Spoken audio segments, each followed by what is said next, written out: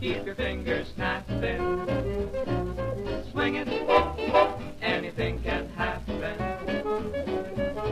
It started in Harlem, and then in a flash, it traveled from Harlem. Now Park Avenue has taken the cue. They swing it, calling out a number. Swing it, newer than the rumba. They'll do it in London, they'll do it in France.